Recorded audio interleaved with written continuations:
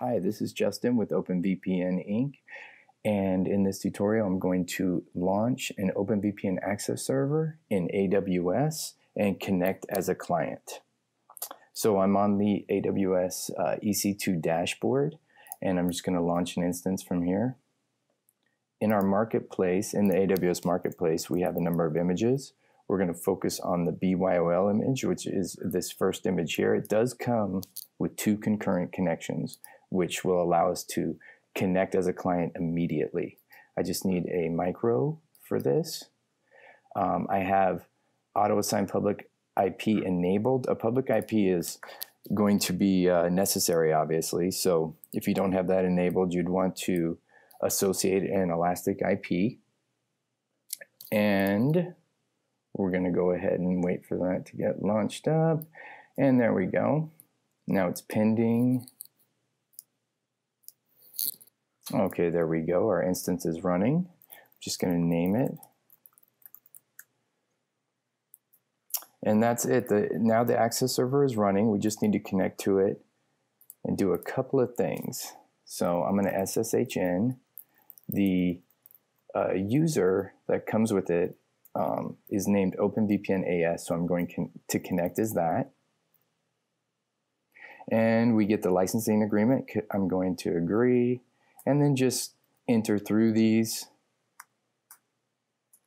these options so that the server will be initialized and then we're going to have some output that will show the URLs of the admin UI and the client web service. Now, before I connect to the admin UI, I'm going to need a password as a uh, as an AS user. And the user that comes with it is the Bootstrap user called OpenVPN. So I'm going to change that password. And now I'm ready to connect. First, the admin UI.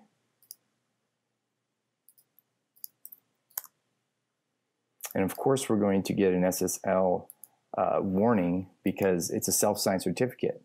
An organization would want to uh, add their own SSL certificates. Save that. Agree to the licensing agreement. And that's it. Access server is running. I have a view of the admin UI and the status is on. It's our latest version 2.6.1. Now, if I go over to the client side, which is on port 943 also, I'll just remove the admin. I get the client web service, log in with those same credentials, and I'll download the client for my operating system, which is Mac.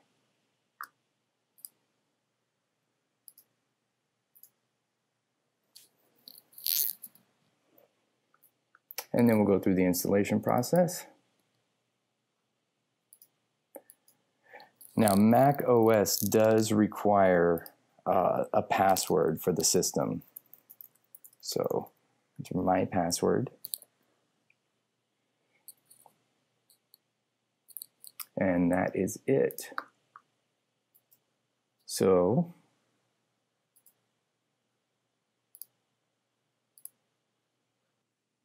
So then I'll launch the client that I just installed, which is here.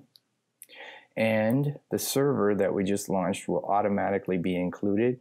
When you download a client, it pulls the profile and the certificate. This is a, a, a very handy feature. So individual certificates do not need to be um, assigned to users. Um, I'll find the server. Of course, mine has multiple servers because I've done this before. Um, yours, if you're just um, just installing, would just have the single server. And I'll go ahead and connect to the one we just launched.